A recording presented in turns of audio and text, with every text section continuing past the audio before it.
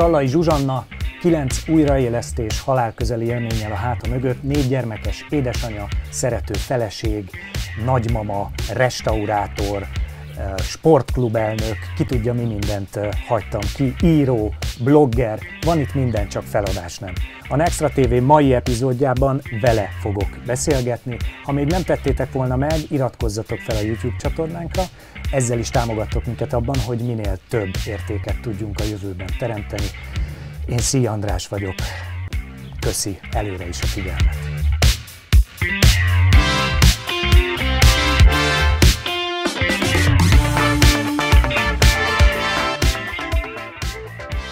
Zsuzsa, nagyon szépen köszönöm, hogy fogadtál minket az otthonodba. Én köszönöm ezt a felkérést. 2017 óta beszélgetünk arról, hogy egyszer le kéne ülni egy jót dumálni. Igen.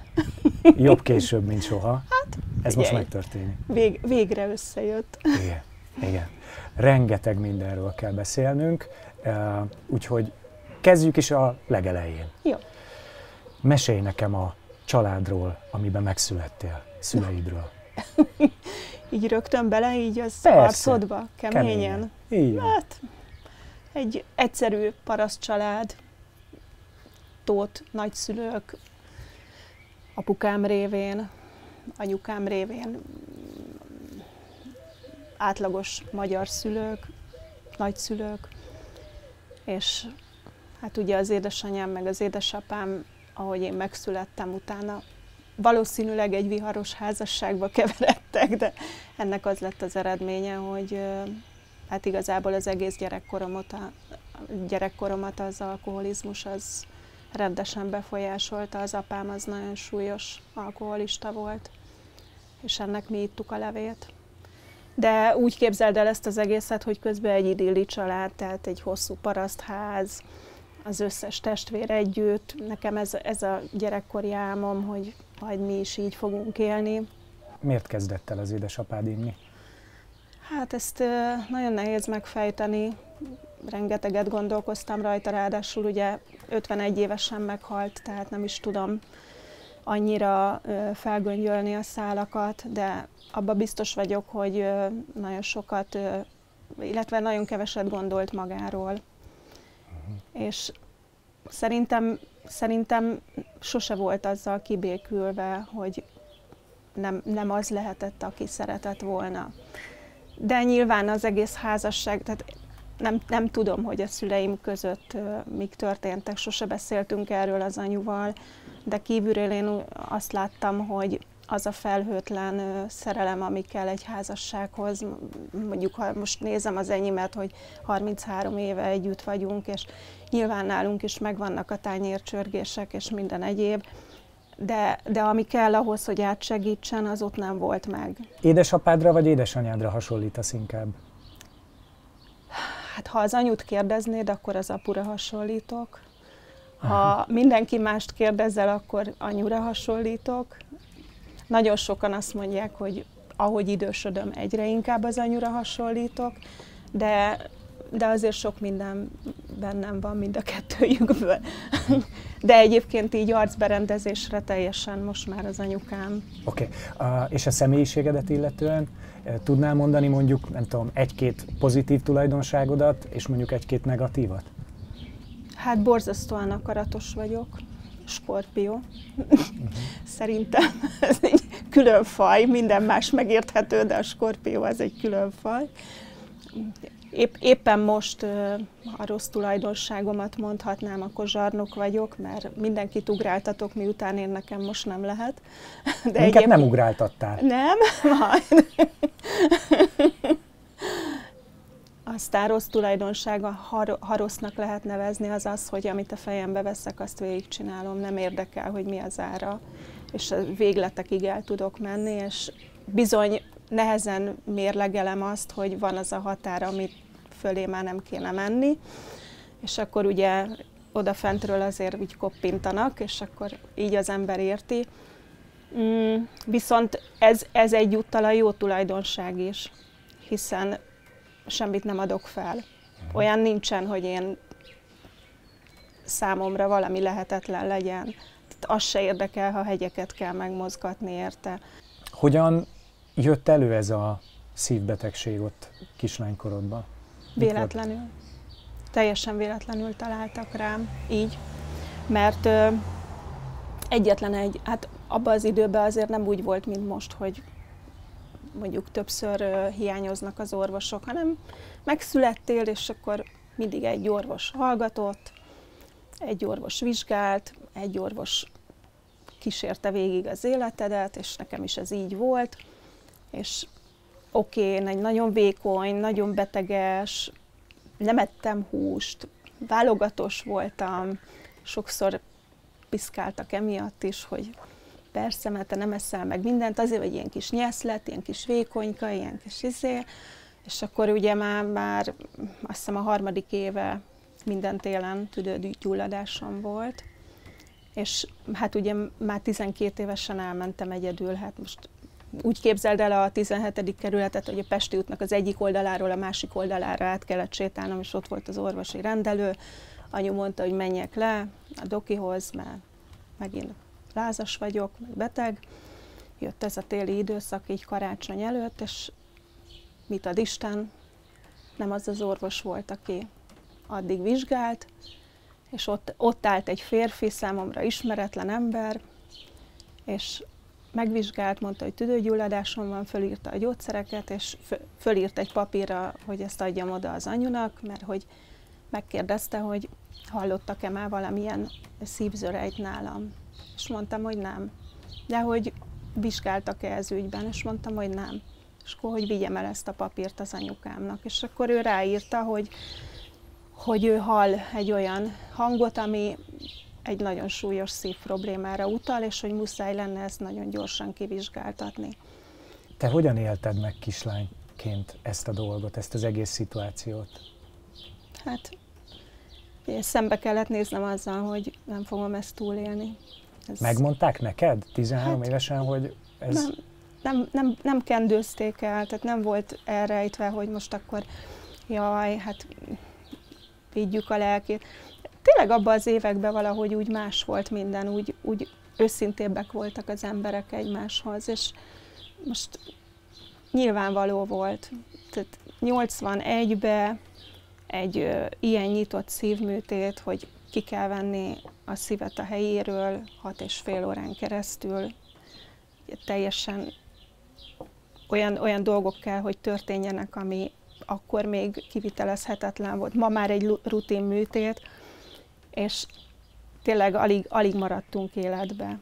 Tehát fel voltunk mindenre készítve. Én is fel voltam mindenre készítve, csak nagyon gyorsan zajlott az esemény, mert, mert borzasztó sok időt telt el betegen, és nagyon le volt már gyengülve a szervezetem, és ugye ez az egész, ez fél év volt, tehát onnantól, hogy elmentünk az első kardiológiai vizsgálatra, az volt januárban, és szeptemberben már a műtőasztalon voltam, két éves várólista egyébként, de nálam már annyira utolsó pillanat volt, hogy nem volt idő, de úgy töltöttem az egész nyarat, hogy valószínűleg ez az utolsó.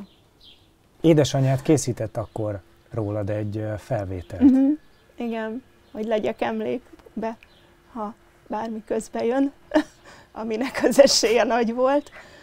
És akkor ez, ez egy ilyen V8-as kis néma filmes felvétel, Amin érdekes módon Birces Edittel beszélgettem, ő egy világbajnok ultrafutó, sokszoros bajnok, és azt mondta nekem az Edit, hogy nem is igaz, hogy te nem futónak születtél, mert hogy milyen érdekes, hogy az ember a, egy, ilyen, egy ilyen helyzetben, hogy készítenek neked gyerekkorodban egy, egy ilyen videót, és akkor csinálj rajta valamit. Hát most mit csinál az ember? Hát fogom magam, és akkor futottam ide, futottam oda, és tulajdonképpen az egész felvétel arról szól, hogy hol itt futok, hol ott futok, és akkor azt mondta az Edith, hogy még, hogy te nem születtél futónak, hát már ott is futottál.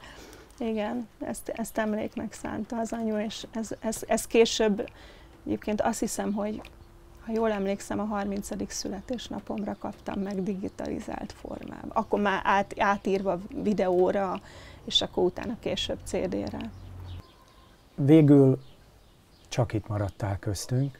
Igen. És akkor ezt követően, ha jól értem, jött nagyjából 27 év betegségtudat. Uh-huh. Igen. Erről az időszakról egy kicsit tudnál mesélni? Hát én azt, azt hittem, hogy ezzel így letudtam az életem nagy kihívását, és akkor innentől kezdve minden az enyém lehet újra. Nyilván vissza kellett építeni egy csomó mindent, mert azért burokba óvtak, védtek, hogy mégiscsak egy szívműtött kislány, és nagyon oda kell rá figyelni, ne sportoljak, ne csináljak semmit, fizikálisan ne terheljem magam. Hát ez a szokásos. Ebben a 27 évben történt ez a 9, 9... újraélesztés, aha. Igen. Ez, ez, ez valami egészen elképesztő. Uh, mi, mi, mi történik akkor, amikor valakit újraélesztenek?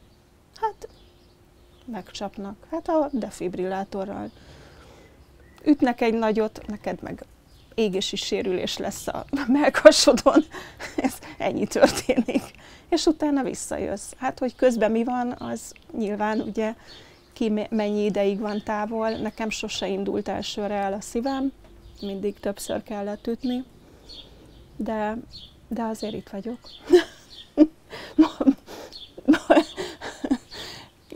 Egyébként ez olyan érdekes, Attilával, férjemmel szoktunk erről a gyerekeknek sokat mesélni, hogy minden ilyen szituáció kívülről sokkal félelmetesebb, mint belülről. Amikor benne vagy a helyzetbe, akkor arra koncentrálsz, hogy basszus, hát most itt csöveznek be, ott rakják rám a, a monitort, itt kötnek be egy infúziót, most itt nyomnak, most ott csapnak, most mi lesz. Van esetleg a számtalan újraélesztéssel kapcsolatban bármilyen konkrét emléked? A szívműtétnél van konkrét emlékem. Igen? Főleg, hogy öt napig komába voltam, meg, meg hát ezért az egy elég érdekes állapot volt. Sok mindent akarok majd erről írni, és keveset mondani, de sokan várják azt tőlem, hogy arról meséljek, hogy akkor tényleg menni kell-e a folyosón, és ott van-e a fény, meg, meg uh-huh. át kell-e rajta menni. Ö, én nem így éltem meg ezt az egészet. Akkor gyakorlatilag az életed alapvető részévé vált az, hogy bármelyik nap lehet az utolsó. Uh-huh. Igen. Minden reggel így is keltem. A mai napig is így kelek, hogy van még egy napom. Ez 13 éves korom óta így van. Igen. Mi motivál? Hát, hogy ezt a napot, ezt rendben elvégezzem.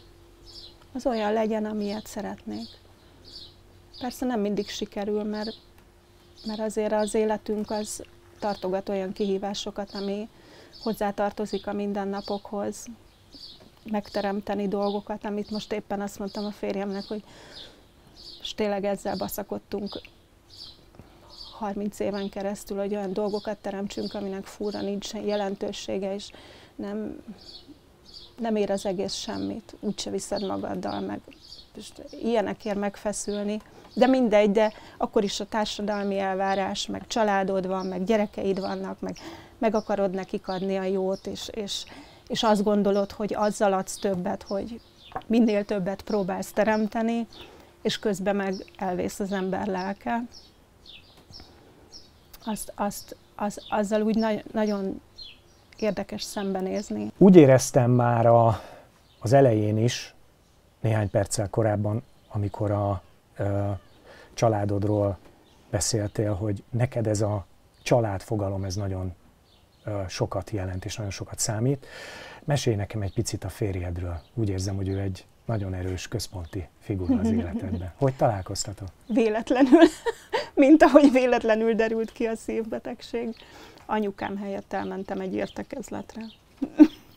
Metrónál dolgozott, és csak miután ott nőttem föl, mert az anyu 72-től a metrónál dolgozott, így mindenki ismert, és csak beültem helyette egy értekezletre, és Sallai meg ott ült velem szembe, és egyáltalán nem tetszett. Ezt mindig elmondom neki. ja. És akkor szegény meg hónapokig keresett, mert azt hitte, hogy ott dolgozom, és nem tudta, hogy hol vagyok. és aztán így júniusra megtalált, március és június között így kovágott irodáról irodára, és keresgélt, és akkor egyszer csak így összefutottunk véletlenül, és, és akkor így, így indult a kapcsolatunk, aztán ez most lesz június 15-én 33 éve. Elképesztő. És 33 év alatt nektek most már gyönyörű nagy családotok van. Hát négy gyerek, ugye?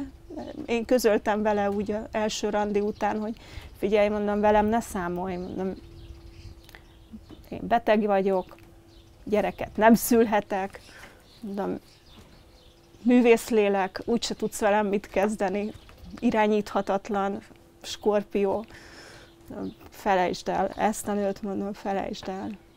És ehhez képest itt vagyunk. Jó, hát ő egy halak. Tehát mi nagyon jó páros vagyunk így együtt.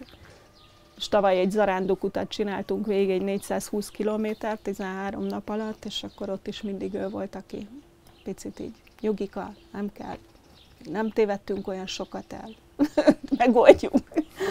Úgyhogy ő, ő, a, ő az ész, és ő, ő húz vissza ebbe a őrületbe. Azt szeretem benne a legjobban, hogy borzasztóan jó ember, és, és minél inkább benne volt velem a folyamatban, mert ugye azért ebből a kilencből végig élt velem azért hat újraélesztést, meg a mostani kihívásokat, beleedződött, és, és érdekes módon egyre erősebb lett, és, és egyre ö, nagyobb a hite abba, hogy ez megint csak egy állomás, végigcsináljuk, nem szarunk be, megyünk tovább. Hogyan jött be a sport az életedbe? Az gondolom, hogy 27 év betegségtudat, 27 évig azt élni, hogy te teljesen alkalmatlan Igen. vagy bármilyen mozgásra, bármilyen terhelésre, tehát abból kijönni azért gondolom nem volt annyira egyszerű. Szerintem ez is egyébként egy belső késztetés, mert ha Futni születtünk című könyvet elolvasod, az ember tényleg futásra teremtett. Tett. Fizikálisan mi futásra vagyunk kitalálva, nem arra, hogy üljünk egy számítógép előtt, meg, meg ilyen hülye dolgokkal foglalkozzunk, hanem, hanem ugye alapvetően ugye a testünk úgy van kialakítva, hogy tudjuk magunkat hűteni, tovább tudunk futni, mint tehát le tudnak győzni minket gyors állatok, de csak 10 kilométer után nincs, aki le tudna győzni. Az ember a végtelenségig el tud futni, és én mindig azt mondom, hogy soha nem a táv öl meg, hanem a tempó. Tehát, hogyha megtalálod azt a tempót, ami a tied, akkor tényleg bármeddig tudsz futni, 48 órát, akármennyit, de ez nyilván csak a fejedben egy határ, hogy te, te mit lősz be. Én meg nekem mindig csak egy napom van, most abba milyen határokat szabjak, hát ami belefér. És én, én nem tudtam arra gondolni, hogy ha most akkor jó, hát akkor 5 kilométer, és akkor nem tovább, hanem engem ez így érdekelt, hogy mi van azon túl.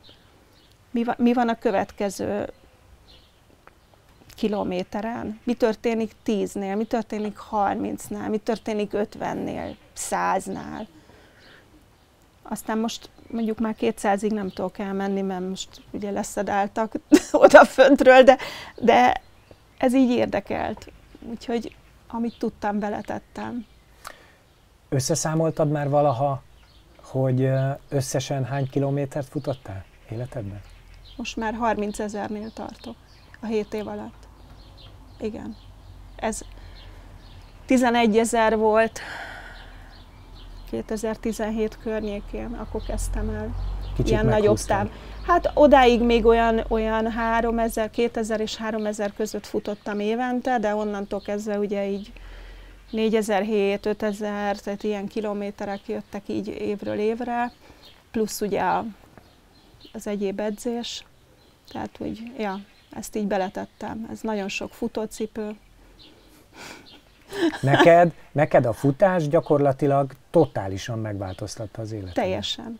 Gyökeresen. Az egy 180 fokos fordulat volt. Soha az életemben nem volt annyira jól a szívem. Tehát amikor először elmentem a kardiológusomhoz futócucba, és meglátott, és azt mondta, hogy maga nem normális, kész, levettem a kezem, soha többet nem akarok magával találkozni, biztos, hogy bele fog halni. És én, aki 13 éves koromtól, ugye 45 évesen kezdtem el sportolni, 46 voltam, amikor elkezdtem futni, és odáig nekem 100 alatt nem volt a pulzusom alapból. És hogyha rosszul voltam, akkor meg ugye 200 fölé ment, 240-et is mértek. Ehhez képest, amióta futok, 48 az átlag pulzusom. Van, amikor 40, és 100, 120 és 130 közötti átlag pulzussal futok egy ultrát. Tehát 140. Ha már ilyen nagyon extrém módon fölmegy, akkor tudom, hogy valami, valami van a szervezetemben, ami nem oké. Okay. Tehát ez, ez jelez arra, hogy, hogy gáz van.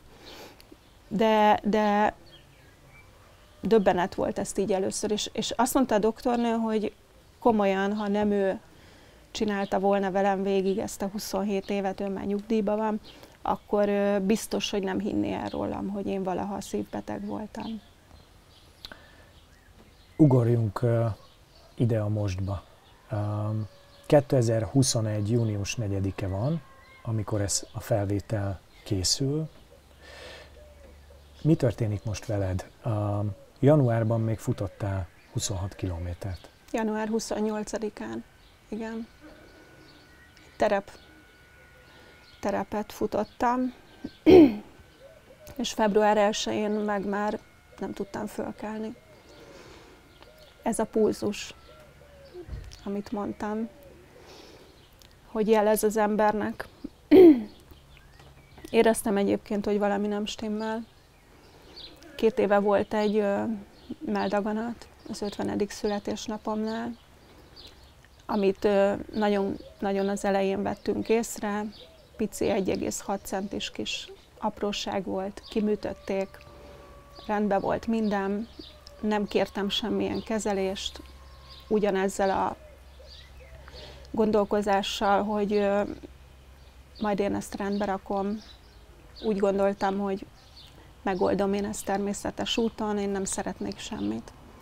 Kilenc héttel a műtét után már 110 kilométert futottam a Balatonon, két melltartóba vigyázva magamra.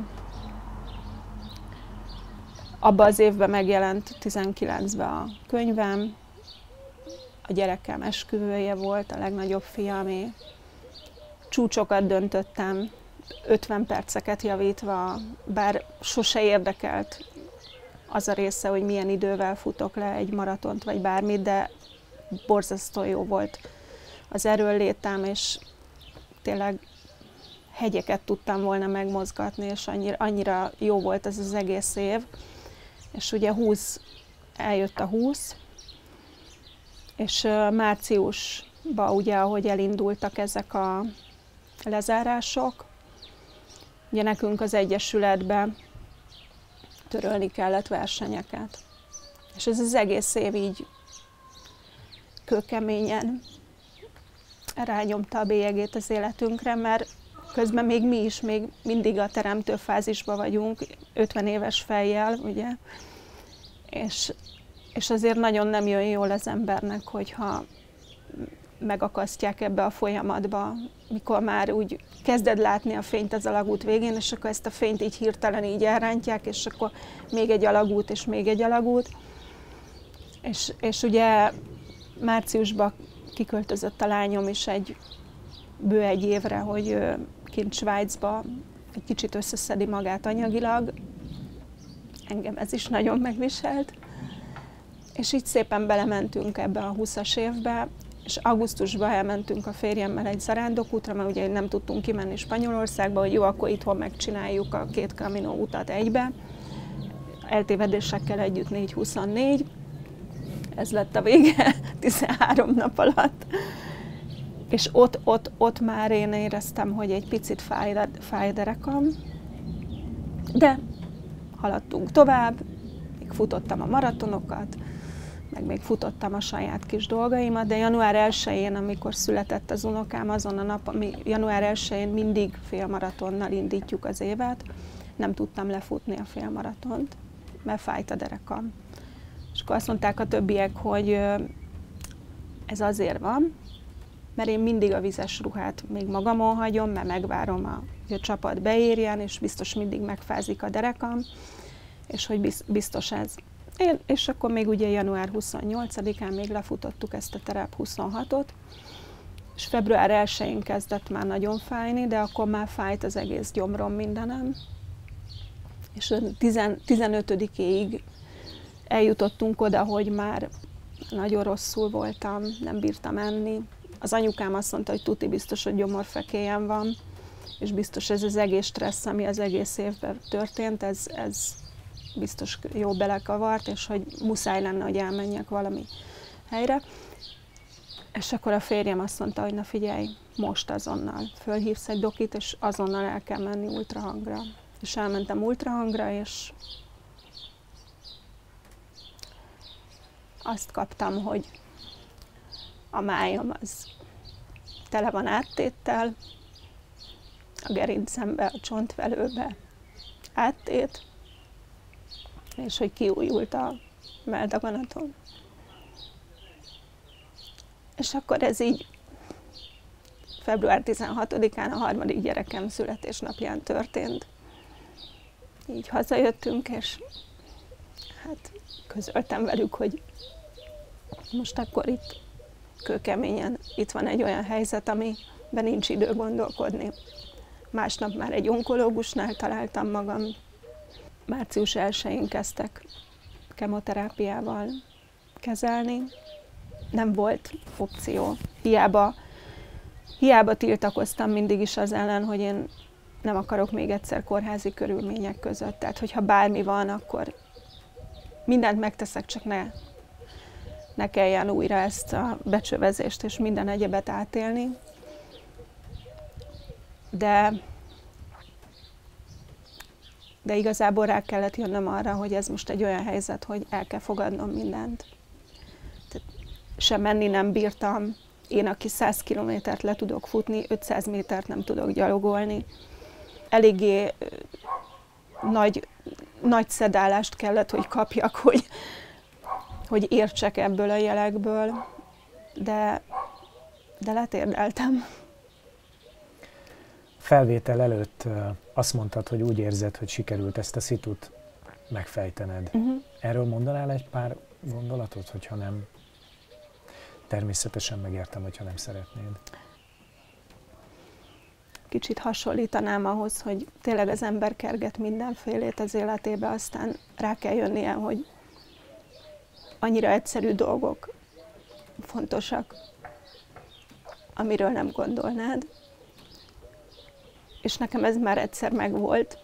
Ezt feszegettük a Anitával, akivel írom a könyvet. És aztán ugye hagytam elvészni abba a 20 évben, amíg megteremtettük a fontos életbe szükséges dolgokat, amik rohadtul és jelentősége. És ma már Ugye ezt teljesen másképp látom, de kézzel-lábbal kapaszkodsz, mert azt gondolod, hogy ha a szakadék szélén állsz, akkor biztos, hogy a mélység van csak alattad, pedig nem igaz. és hát mindegy, megfejtettük.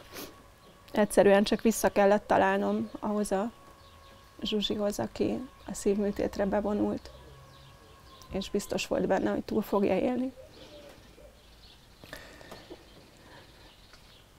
Mielőtt szót ejtenénk a, erről a bizonyos második könyvről, engedd meg, hogy egy zárójelet nyissak a nézőknek.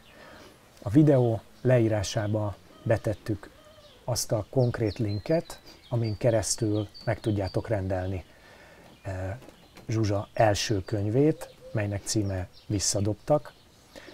Ezzel is tudjátok támogatni az ő felépülését. Viszont elképesztő pozitív energiák vannak körülötted, támogatás. Ezt jól látom. Igen. Igen. Én, én úgy, úgy hagytam abba az első kötetet, hogy nyilván nyitva van, és jönnek, jön, további része. Visszafele fogunk menni az időbe, de, de úgy hagytam abba, hogy a, úgy látom a jövőmet, hogy a nagyon sok unokámmal. A, annyira büszke vagyok a családomra, hogy tudom, hogy be vannak tojva. Meg nyilván azért itt bármi megtörténhet. De senki egy pillanatig nem kételkedik abban, hogy, hogy én rendben leszek. Borz, borzasztóan sokat lefogytam, most visszaszedtem négy kilót, annak is úgy örülnek. Életemben nem ettem annyit csokoládét, amennyit belém tömtek az elmúlt egy hónapban. Minden, mindent megtesznek, és tényleg azon kívül, hogy, hogy ugye közlöd velük, és felnőtt emberek, hiszen 23 éves lesz a lányom, és 31 éves a legnagyobb fiam, soha nem sírtak előttem, hanem annyira pozitívan állnak hozzá, hogy jó van anyu, ezen is túl leszünk. Beszéljünk a félelemről. A könyvedben azt írod, hogy a félelmeink mögött ott vannak a csodák. Igen. Ezt kifejtenéd egy picit? Sok, sok történetet beleírtam, de egyet, egyet elmondok, és akkor ebből így érteni fogja mindenki. 2002. június elején kimentek a gyerekeim cseresznyét szedni a, az utca végébe, egy cseresznyefára. És ö, fölmászott a fiam a legtetejére, és a testvére ment vele. És a fiam alatt letört az ág, és lezuhant 8 méter magasról, és összetörte magát olyan szinten, hogy eszméletét vesztette rohammentő, vákumágy, minden, ami kell, gerincsérülés, agysérülés. Bekerültünk a balesetibe, és olyan súlyos bevérzés volt a fejében, hogy azt mondta, akkor ott dolgozott a csókai doktor. De még nem volt ennyire ismert és akkor ő a szemembe nézett, és azt mondta, hogy nem, nem lehet megműteni a gyermekemet, mert az a sérülés, az a beszéd és mozgás központban van, és nem, nem lehet tudni, hogy mi lesz a kimenetele. És én rettegtem mindig is attól, hogy a gyerekeimmel bármi. Láttam az anyun, hogy milyen végigélni egy gyereknek a betegségét, és bármit el tudok viselni, csak ezt nem. És mentünk orvosról orvosra, és a negyedik idegsebész, akit találtunk az amerikai úton, az az idegsebész azt mondta, hogy a fiamnak van 10% esélye arra, hogy megúszza, és nem fog lebénulni, és fog beszélni. Mondtam, hogy nekem 10% esélyem volt, hogy túléljem a műtétet, gyerünk, csináljuk. Ez a negyedik idegsebész elvállalta a műtétet, és csináltak még ez alatt a június és november között számtalan MR vizsgálatot és minden egyebet. Mégis a műtét közben, amikor feltárták, mögött a bevérzett agysérülés mögött ott volt egy agydaganat, ami nem derült volna ki, hanem nem esik le a fár. És nem derült volna ki, hogyha én nem vagyok olyan konok, és elfogadom az első döntést. És ez megmentette a gyerekem életét. És az a félelem, amit egyébként érez az ember, hogy Úristen, most rábízod egy vadidegenre a gyerekedet, és hogy mer, mered-e bevállalni. És neki most született kisbabája, az első unokánk. Ezt jelenti. valaki, aki ilyen mérhetetlen mennyiségű tapasztaláson van túl, mint te, hogyan gondol a halálra? Hmm. Elvileg azt kéne mondanom, hogy nem félek tőle. elég, elég sűrűn megfordul az életemben. De inkább nem, nem, nem is. Egyrésztről azt gondolom, hogy szerintem egy ugyanolyan átmenet, mint a születés. Tehát semmi nem fog történni, csak megint, megint valahova lépünk. Ez az én elképzelésem, meg talán az a mennyiségű tapasztalat, amin keresztül mentem, ez valamilyen szinten visszaigazolja. Remélem, hogy azt láttam, amit kellett. De inkább az, hogy annak ellenére nagyon-nagyon szeretem így, ahogy van az életemet, és szeretnék minél több időt még itt lenni. Azt milliószor beszélgetésekben elmondom, hogy nem jövök vissza már ebbe a balettbe ugrálni. azért, azért már kicsit már úgy menjünk egy szinttel arrébb. Ez csak vicc része, de, de tényleg sokszor elmondom. Én, én úgy gondolom, hogy hogy ez, ez nem valaminek a vége, hanem egy következő dolognak a kezdete. De nem, nem olyan fajta félelem van bennem, hogy most így úristen, mi fog velem történni, hát már annyiszor átéltem, hogy már tényleg tudom, hogy mi fog velem történni. Maximum annyi, hogy ott majd ugye nem fog fölébredni, és nem látok már senkit, de de mondom, mondom azt, hogy, hogy azért még szeretnék itt lenni alapvetően jellemző az egész emberiségre egyfajta ilyen igazságkeresés a bennünk lévő kérdésekre keresünk választ. Te hogy látod, mit akar tőled az élet? Egyszerűen belül megtalálni azokat a dolgokat, ami igazán a boldogságot jelenti. Semmi többet. És, és mi ezt kívülről keressük, megyünk mindenfelé, beutazzuk a világot, azt gondoljuk, hogy ahhoz látni, tapasztalni és, és átélni kell mindenfélét. És közben meg abba az egy négyzetméterbe, vagy háromba, vagy teljesen mindegy, de abban a pici kis szűk élettérbe van, amiről meg a leginkább le tudjuk venni a fókuszt. Nézzünk mindenfelé, egyre távolabb. Nem véletlen az se, hogy nyáróta leépítettem minden internetes és egyéb alkalmazást.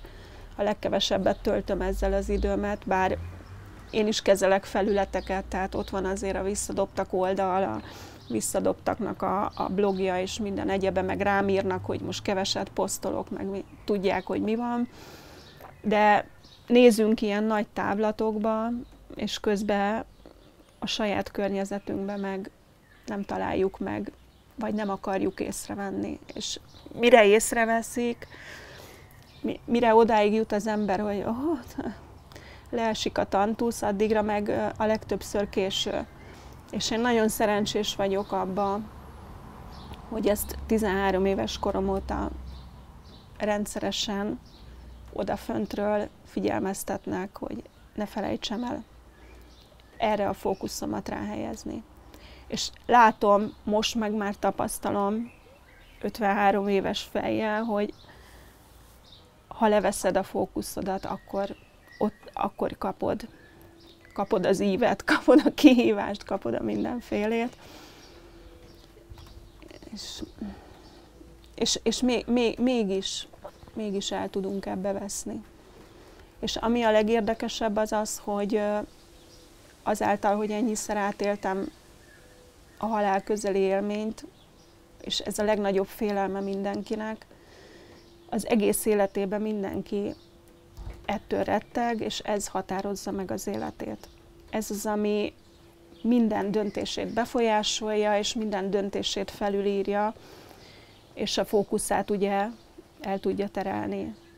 Mert, mert az a fajta félelem, amit érzünk egy ilyen dolog miatt, ami egyébként az életünk része, és teljesen természetes kéne, hogy legyen, és, és annyiszor elmesélem a gyerekeimnek, hogy én emlékszem arra, amikor tíz évesen meghalt a nagypapám, és két napig ott virasztottunk mellette, és ez az életnek a természetes része volt, tehát nem ment be egy kórházba, és nem búcsúztunk el tőle, és akkor majd meghalt, és majd valaki telefonált, hanem ott voltunk mindannyian, és végig kísértük az életének ezen a folyamatán.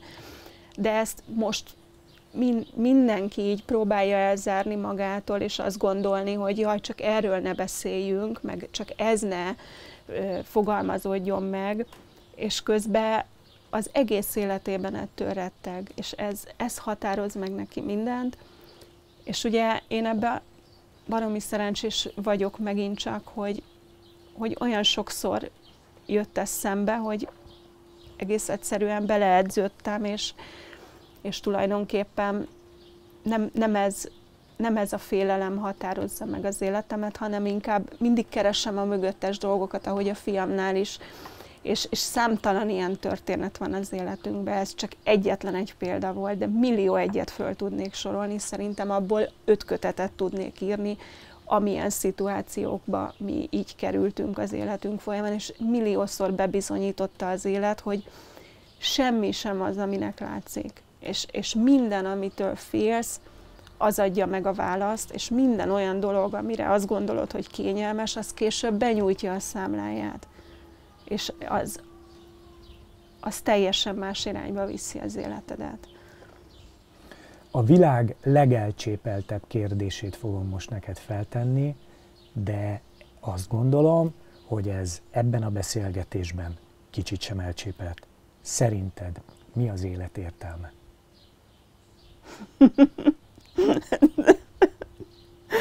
Azért mosolygok, mert tényleg egyébként nagyon sokszor megkérdezik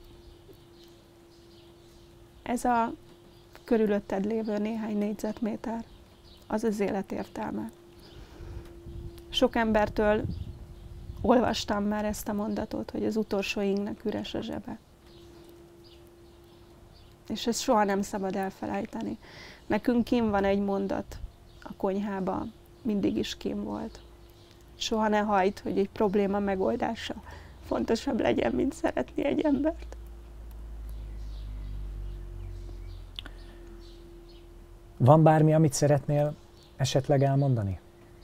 Bármi. 40 éves szülinapom lesz szeptember 21-én, ha megérem. Akkor leszek 40 éves szívműtött. És nagyon-nagyon izgulok, hogy ez jól sikerüljön. Mert ebbe bele se gondoltam, ez most idén szembesültem vele. És akkor, amikor megkaptam ezt a diagnózist, akkor kezdtem el ezen gondolkozni, hogy úristen, pont 40 éves lesz. És hogy nekem ez, ez milyen érdekes dolog, hogy ezt is megérhettem. Mindig csak egy napra kellett koncentrálnom, és ugyanaz, mint a futásban. Hogy mindig azt mondom, hogy csak a következő lépést figyeld, ne figyelj semmi másra, csak arra, hogy következő lépést tedd meg, és tedd meg a következő lépést. És ez ugyanolyan, és egyszer csak itt vagyok, és nagyon izgulok. Úgyhogy ez nagyon, nagyon várom ezt a pillanatot. Zsuzsa, te egy elképesztő csoda vagy, végtelenül megtisztelő a számomra, hogy leültél velem beszélgetni. Nagyon szépen köszönöm. Én köszönöm. Hölgyek, urak, a Sallai Zsuzsannával készült nagy interjút láthattátok. Ha eddig még nem tettétek meg, akkor most iratkozzatok fel a Nextra TV YouTube csatornájára, hogy a jövőben minél több értéket tudjunk nektek teremteni. Ne felejtsétek el megosztani ezt a videót másokkal is. Nem ma találkoztunk utoljára. Szevasztok!